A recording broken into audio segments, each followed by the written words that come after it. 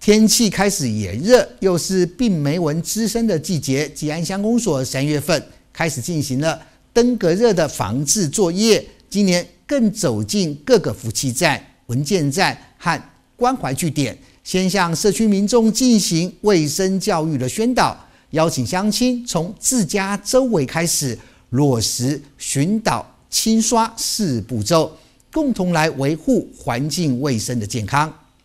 天气开始炎热，又是病媒蚊滋生的季节。吉安乡公所三月份开始进行登革热防治作业，今年更走进各个服务站、文件站，还有关怀据点，先向社区民众进行卫生教育宣导，防治登革热病媒蚊的宣导。走入社区健康站，走入社区，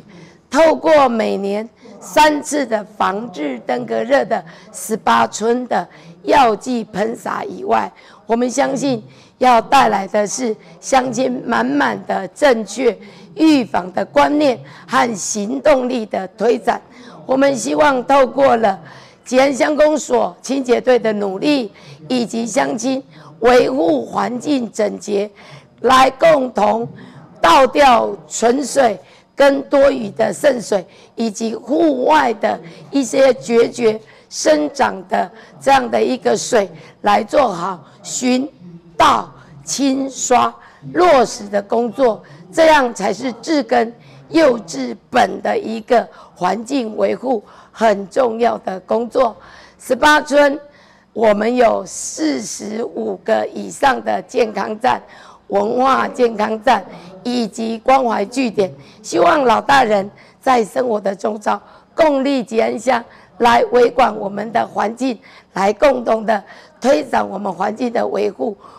吉安乡清洁队带来宣导看板，还有家中容易积水的容器物品，向乡亲说明寻道清刷四个步骤方法，提醒民众从自家周边开始着手，杜绝病媒蚊滋生源。同时，清洁队也向大家报告十八个村喷洒药剂的日期和时间，请民众预先将门窗关闭，衣物和食品都收到室内。乡长尤淑珍表示，吉安乡连续多年荣获亲近家园第一名的殊荣，是靠全体乡亲和公所团队共同努力。希望今年夏天大家也做好防治工作，不要让登革热病例在吉安乡发生。记者会吉安乡报道。